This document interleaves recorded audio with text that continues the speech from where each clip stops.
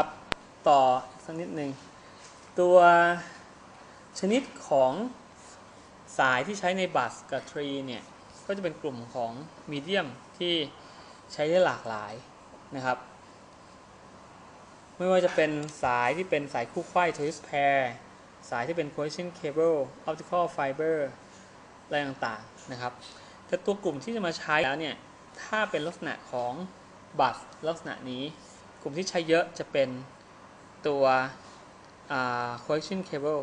นะครับ coaxial cable เป็นส่วนใหญ่ coaxial cable กลุ่มก็คือกลุ่มพวก R G 6นะครับ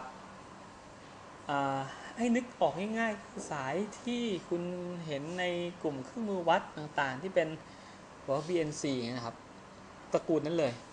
ตระกูลนั้นเลยก็คือหัว RJ สาย RG6 แล้วหัว BNC bus tree ต่างๆ จะใช้สายประเภทนั้นนะครับ ส่วนถ้าเป็นกลุ่มของแลนโดยที่เป็นลักษณะของ hub รวมศูนย์เนี่ย จะใช้สาย twisted pair ซะเยอะ สาย twisted pair ก็คือสาย UTP นั่นเอง Unshielded Twisted Pair ที่คุณใช้อยู่ ถ้าต้องการให้มีความเร็วสูง คุณก็จะใช้สายกลุ่มประเภท STP Shield Twist Pair มีหุ้มด้วย แต่ส่วนใหญ่ที่เขาจะไม่ใช้ตัว Shield Twist Pair เพราะว่าราคาครับ แล้วก็ติดตั้งยากจะแข็งนะครับ จะใช้น้อยกว่า Optical Fiber มาแน่นใกล้ราคาเริ่มลงมาแล้วเดี๋ยวคุณจะเห็นว่าแลนในบางที่จะใช้สายออปติกชุดล่างมาถึงโต๊ะเลย แต่ไม่ใช่ที่นี่แน่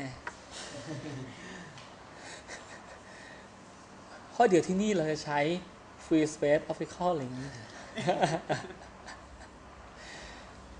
หรือเราอาจจะใช้ Whisper Light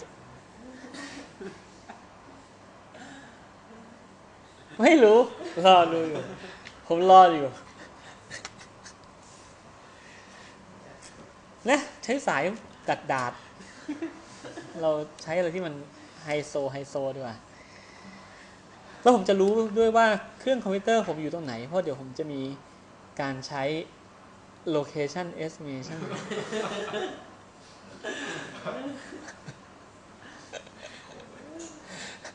นี่เดี๋ยวสโคปใครหยิบของผมไปไว้ตรงไหนเนี่ย ผมจะรู้หมดเลยผมจะมี location estimation ของของไปวางไว้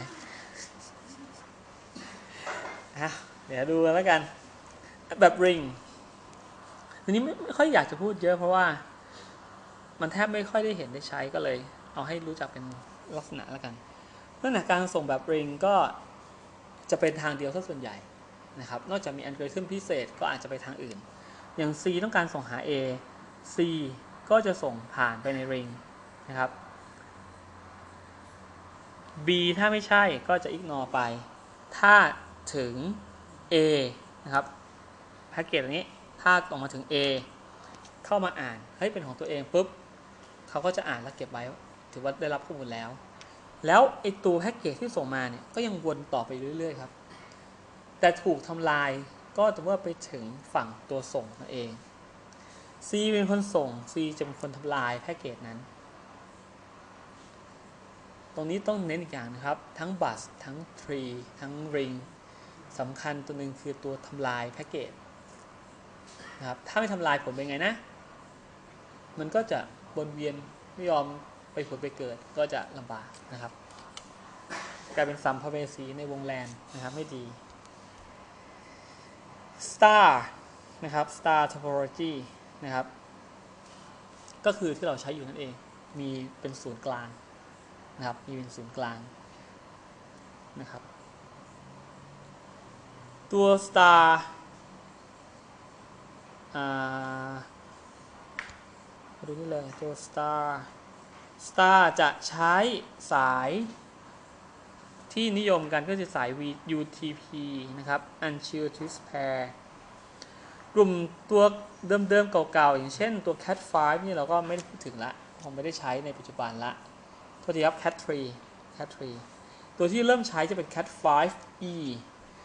5e ปัจจุบันยังหาลำบากเลย เป็น Cat 6เยอะด้วยซ้ำนะครับ Cat 5e Cat 6 อยู่ราคาเมตรหนึ่งสักสิบกว่าบาทปัจจุบัน10กว่าบาทไม่ได้แพงมากแล้วข้างในมีทั้งหมด8เส้น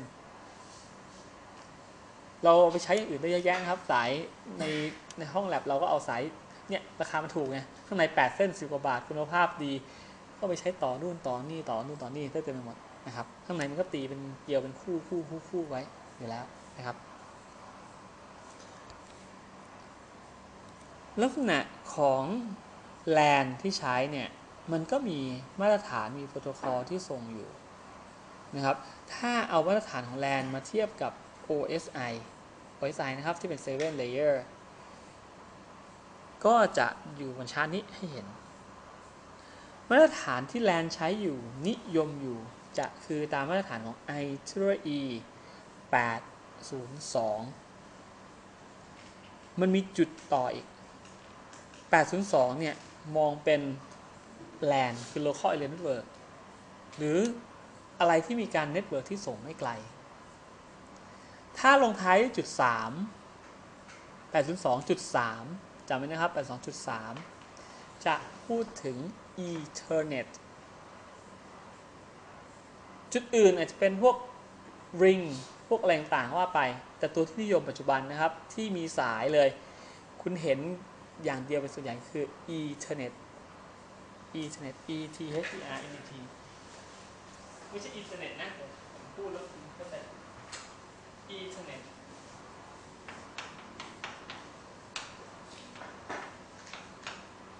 อันนี้อินเทอร์เน็ต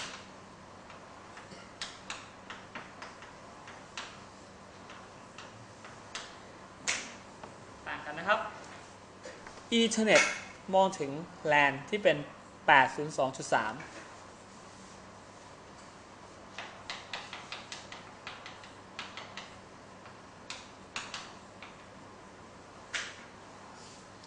ถ้า Wi-Fi จะเป็น 802.11 แล้วมีตัวย่อย ๆ ไปอีกนะครับ เหล่านี้เนี่ย ถ้า คุณไม่ใช่เอนจิเนียร์ทางด้านสื่อสาร รู้คร่าวๆก็ผ่านไป แต่คุณเป็นเจียทางด้านนี้ต้องจำต้องจำเลยครับว่ามันคืออะไร ตัวที่ใช้บ่อยๆนะครับ ถ้าเกิดอันไหนที่ไม่ใช้บ่อยอาจจะนั่งเปิดตำราเปิดอะไรดูได้ไหนเจอบ่อยๆต้องพูดถึงตัวนี้ปุ๊บนึกออกเลย เป็น 2.3 อ๋อ LAN ที่เป็น Ethernet เป็น2.1 อ๋อ เป็น Wi-Fi เป็น2.15 อ๋อ เป็นเกี่ยวกับ Personal Area Network เช่น Bluetooth พวก Wireless Sensor Network เป็น2.16อ๋อ Vimax อะไรเงี้ยมันต้องต้องรู้จัก ถ้าไม่ใช่กลุ่มพวกเราไม่จำเป็นต้องรู้ แต่พอดีพวกเราเป็นว่าที่วิศวกรทางด้านสื่อสารก็เลยควรจะรู้หน่อยหนึ่งเทียบกันกับ OSI คือจะเห็นได้ว่ากลุ่มที่เป็น 802 เนี่ยครับ จะยุ่งแค่ชั้น Data Link เป็นส่วนใหญ่ จะโฟกัสเฉพาะชั้น Data Link แค่นั้นเองนะครับ และนี่คือเคล็ดลับความเร็วของ LAN ว่าทำไมมันเร็วกว่าการส่งออกไปข้างนอกที่เป็น WAN ก็เพราะว่า7 layer เนี่ย ใน LAN วิ่งกันอยู่แค่2 layer ตัวสวิตช์ต่างๆ ส่งข้อมูลสวิตช์ที่คุณเห็นเนี่ยครับ มันแกะแพ็กเกจแกะข้อมูลกัน มันแกะแค่2 layer มันเลยเร็ว แต่ถ้าเกิดคุณส่งออกไปนอกมหาวิทยาลัยศรีปทุมออกไปถึงบ้านคุณถึงอะไร ช้ากว่าเพราะมันต้องวิ่งไป7 layer เลยนะครับวิ่งไป7 layer เลย อันนี้คือหนึ่งเคล็ดลับที่มันทำไมในแลนถึงเร็วกันเร็วกว่านะครับ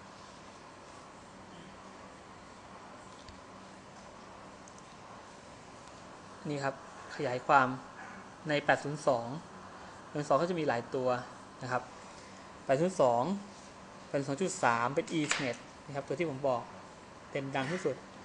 802.4 เป็น Token Passing เป็น Bus 802.5 เป็น Token Ring จุด6จุด9จุด11ครับ ที่นิยมเป็น Wireless LAN จุด12 ไม่ค่อยเห็นเท่าไหร่จุด14 เป็น Cable TV ซึ่งประเทศไทยเราก็ไม่ได้ใช้ตรงนี้เท่าไหร่ ใหญ่เราก็จะใช้เป็นเคเบิลท้องถิ่นคือล่ากเป็นสาไปเลย ไม่ได้มีมาตรฐานลักษณะนี้อย่างทีหนึ่งคือเราดูเป็นดิจิตอลทีวีผ่านพวก True ที่มาจาก Satellite นั่นคือประเทศไทย ซึ่งมาจาก Satellite ก็ไม่ได้เป็นตามมาตรฐาน i 2 8 2อยู่ดี เป็นตัวมาตรฐานของ DVB นะครับถ้าของ Satellite จะเป็น S2 DVB S2 อันนี้เป็นความรู้เลยนะ ที่เขากำลังจะประมูลความถี่ดิจิตอลทีวีเป็น DVB T2 ของเมืองไทย ที่ใช้อยู่เป็น DVB S2 เนี่ยคือของ Satellite ใช้อยู่ปัจจุบัน เราใช้แล้วนะครับ ไม่ใช่ไม่ใช้เราใช้แล้วนะครับใช้แล้วนะครับโอเคชั้น physical link ชั้น logical link นะครับ ขยับข้ามมานี้ก่อน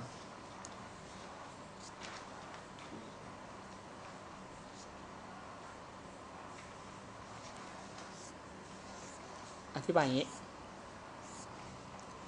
ตัว LAN เนี่ย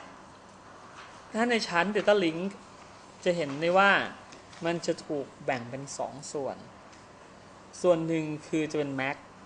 อีกส่วนหนึ่งจะเป็น Logical Link ไอ้สองอันนี้ต่างกันยังไง อย่าให้เห็นนี้ครับ Physical เนี่ยเราค่อยจงกันก็คือว่ามันคือ Physical ของสายเป็นยังไง แรงดันเป็นยังไง Modulation เป็นแบบไหน เหมือนกัน แต่ชั้นที่เป็นชั้น Data Link คือเป็นการเชื่อมของสัญญาณ 01 01 01 แล้วเนี่ย ไอ้ตรงเชื่อมสัญญาณ 01 01 01 ระหว่าง address 1ไป address 1เนี่ยมันจะส่งหากันได้มันต้องมีโปรโตคอลในการส่งที่เราเรียนไปก็คือ ต้องมีเฟรมของ address มีการซิงค์มีการใส่ header ในบางอย่าง เช่นมีมีค่า parameter อะไรบางอย่าง จากนั้นถึงค่อยมี data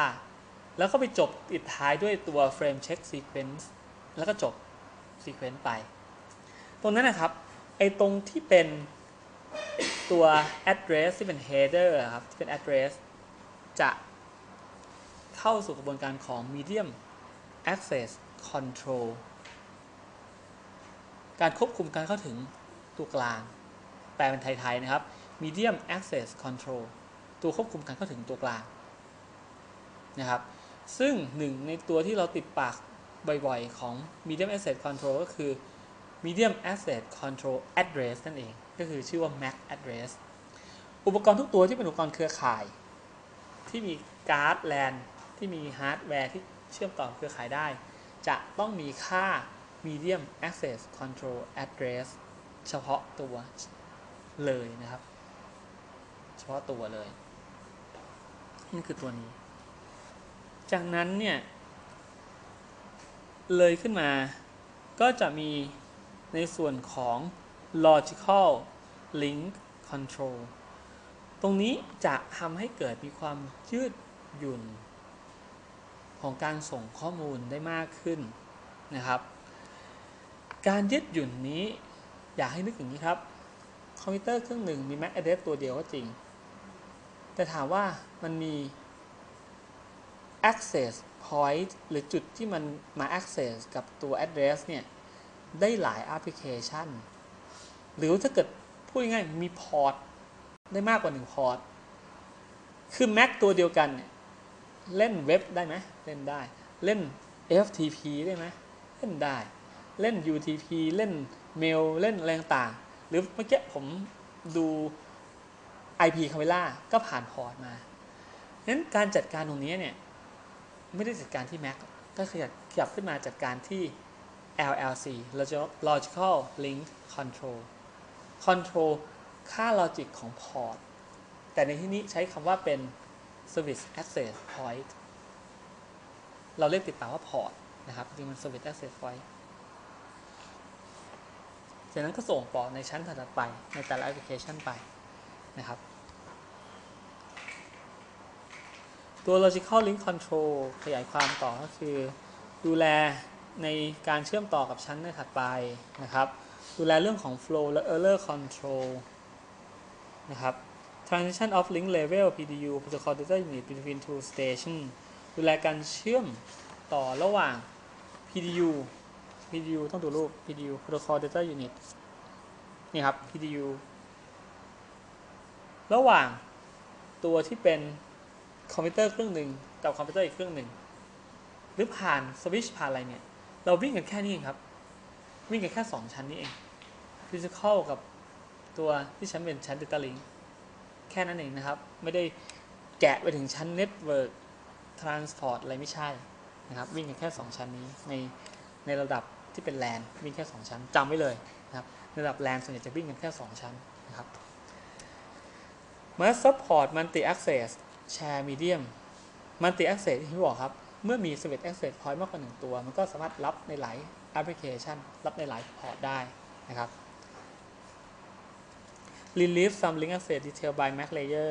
addressing involves specify source and destination LLC user refer to as service access point อันนี้สรุปรวมๆก็คืออย่างที่บอกครับ ชั้น MAC มี address ที่เป็น physical address ชั้น LLC ก็จะมีการจัดสรรว่าจะใช้พอร์ตไหน แค่นี้ก่อนนะครับ LLC service based on HDLC เอ๊ะ HDLC อะไรวะไปย้อนกลับไปดูในหัวข้อเก่า HDLC มันก็หยิบเอาหลักคิดของ HDLC ที่ส่ง pattern ตรงนี้มาครับ ว่ามี frame เป็นลักษณะอย่างไร เอามาพัฒนาให้มันเหมาะสมมากขึ้นนะครับ แต่ HDLC ส่วนใหญ่ก็จะใช้กับการส่ง network ที่เป็นระยะไกลนะครับ HDLC พัฒนากว่า HDLC ตรงที่มันเป็น unacknowledged connectionless service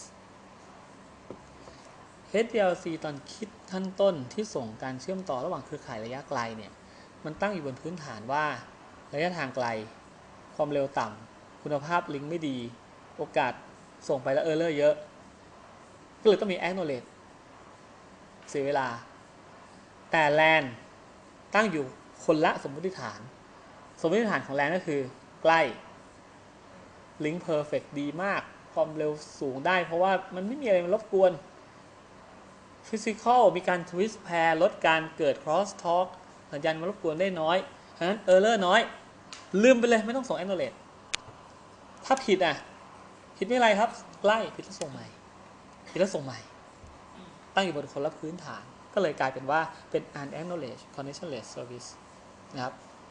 หยิบเอา HDLC มาแต่พัฒนาในมุมของที่มันควรจะเป็น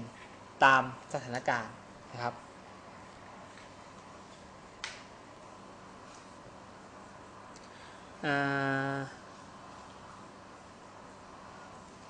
นี่ข้ามไปก่อน Mac ต่อมาครับ Mac Medium Access Control ทำหน้าที่อะไร ทำหน้าที่ Assembly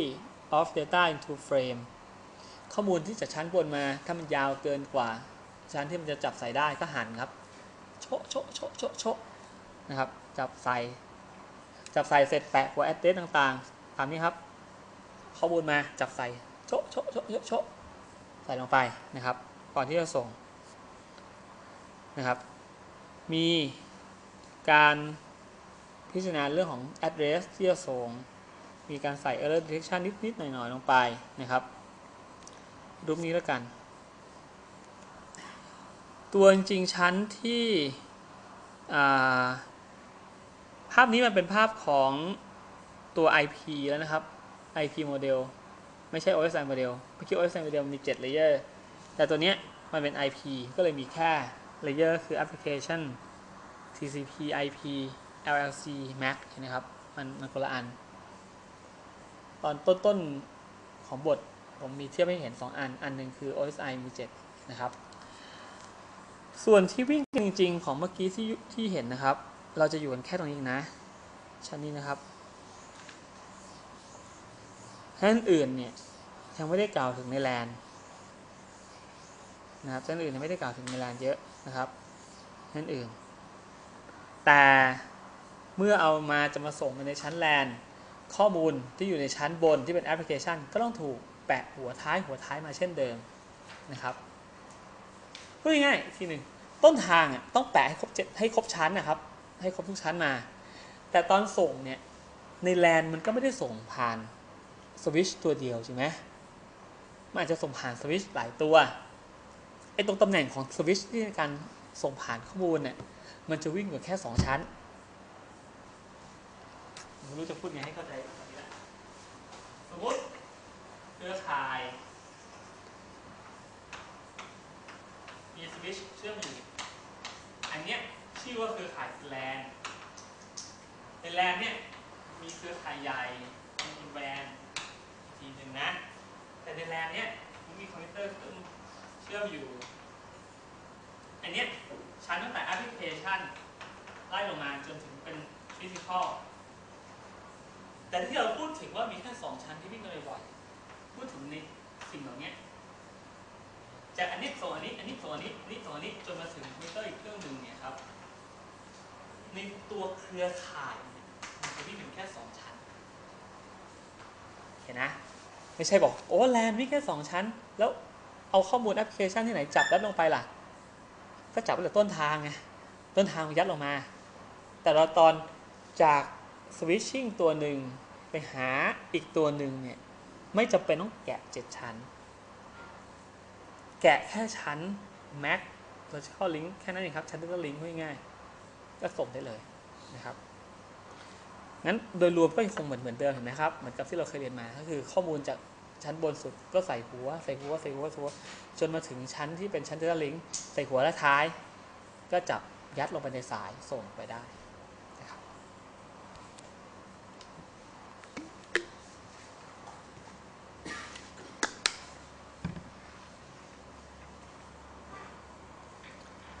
ตัวนี้ผมข้ามไปก่อน medium set control ประเด็นตรงนี้ผมบางอันที่ผมมองว่ายังไม่ค่อยเหมาะนักผมก็จะตัดไปก่อนนะครับ มาดูภาพของเฟรมของ medium asset control ที่ที่ใช้อยู่ทั่ว ๆ ไป ยังไม่ได้ specific ในแบบไหนนะครับ ก็จะเป็นเช่น อืม จริงถ้าเกิดเขียนให้เหมือนกับเมื่อสักครู่ก็คือกลับไอ้ข้างล่างเนี่ยอยู่ข้างบนจะเข้าใจง่ายกว่า ก็คือชั้นของ LLC ลงลงมา แล้วก็ค่อยลงไปในชั้น Mac แต่นนี้มันเขียนจากล่างขึ้นไปข้างบนแค่นั้นเองนะครับ แล้วข้างในมีดีเทลอะไร สนใจค่อยไปเจาะว่าเอ๊ะไอตัวนี้มันคืออะไรวะไอตัวนี้มันคืออะไรวะนะครับ แต่คือภาพก็คือข้อมูลเนี่ยมันจะถูกจับยัด จากชั้นบนลงมาชั้นล่างนะครับ แปะหัวแปะหาง ที่ผมจะสนให้คุณสนใจมากคือตรงนี้ครับ ในชั้นของ Mac ตรงนี้ผมถือว่าเป็นข้อมูลมา จากที่ต้องการส่งมานะครับ ในชั้น Mac header ของข้อมูลที่ถูกแปะเพิ่มไป จะมีตัว control เช่นตัวจะเอาไว้ใช้ในการ sync frame นะครับ มี destination MAC address source MAC address ส่งมาจากไหน ส่งไปถึงใครนะครับ และมีการเช็คไซคลิกเรนนั้นเช็คว่าปิดถูกหรือผิด ก็จะคล้ายๆกับในหลายๆสิ่งที่คุณได้ผ่านมา แต่จะมีอันหนึงก็คือส่วนใหญ่เนี่ยบางอันเนี่ยจะมีเฉพาะ destination address แต่อันนี้จะมีทั้ง source และ destination นะครับ ส่งจากที่ไหนใครเป็นคนส่งนะครับ เหล่านี้นำไปใช้ในกรณีที่บางทีเราไม่ได้ส่งแบบ point to point ไงเราส่งมีการรีเลย์มากกว่าหนึ่งตำแหน่งมากกว่าหนึ่งจุดบางครั้งเราต้องการทราบว่าไอสิ่งที่ส่งมามันส่งมาจากไหน ส่งไปถึงไหน เพราะไอ node ที่อยู่ตรงกลางเนี่ยมันจะได้รู้ที่ไป ไม่ใช่ส่งกลับไปที่เดิมนะครับ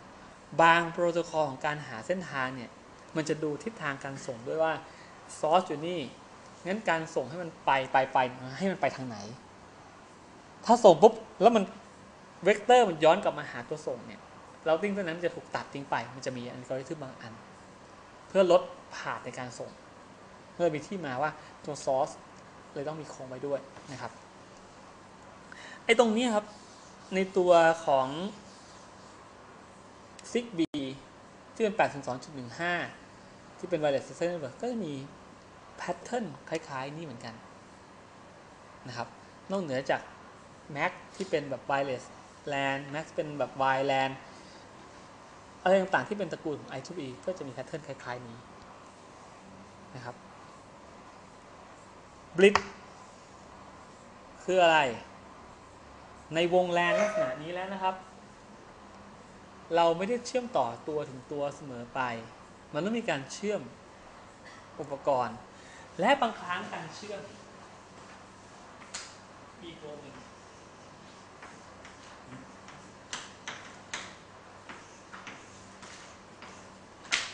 การเชื่อมข้ามวงครับ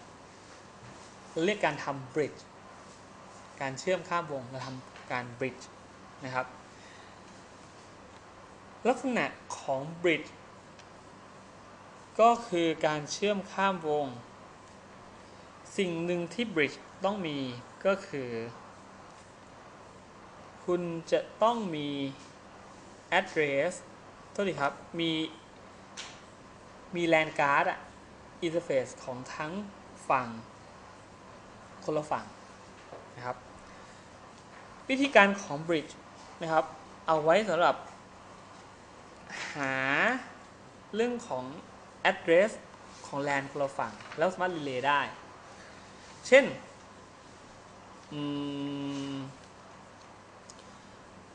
อย่างในรูปนี้ LAN A กับ LAN B LAN A คุณก็จัดสรรให้มันมีอยู่ในวงของมัน ส่งข้อมูลแล้วก็ส่งอยู่ในวงมัน มันก็จะมีความ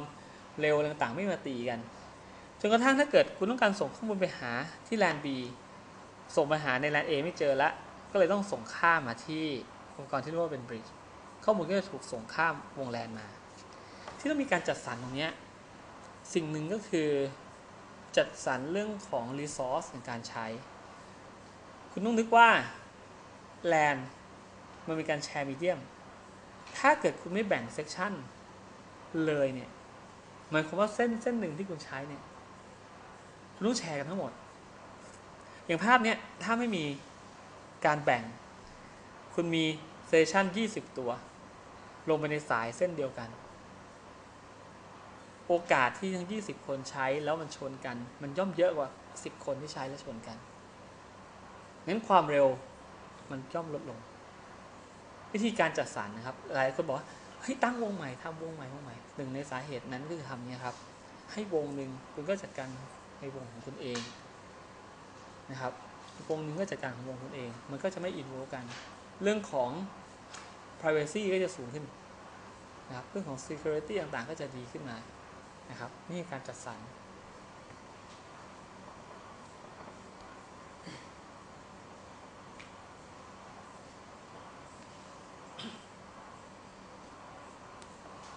โดยรวมของการทำบริดก็คืออย่างที่บอกครับรถตัวนั้น ส่วนใหญ่บริดจะให้ ความเร็วต่างๆ ค่อนข้างดีนะครับ เนื่องจากว่ามันมีโปรโตคอลที่เหมือนกันเพียงแค่เป็นการแบ่งแบ่งโซนกัน งั้นไม่จำเป็นต้องมีการ F encapsulation อะไรต่างๆนะครับ minimum buffer นะครับ แล้วก็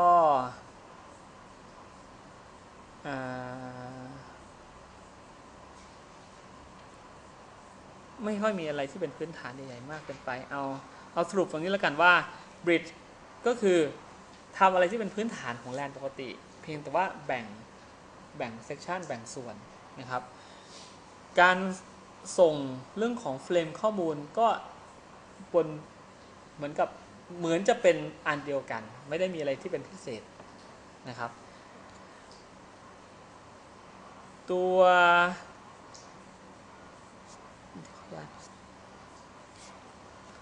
ตัวอันหนึงที่บริดทำได้อีกอันหนึ่งครับก็คือ เรื่องของการเอาแลนสองอัน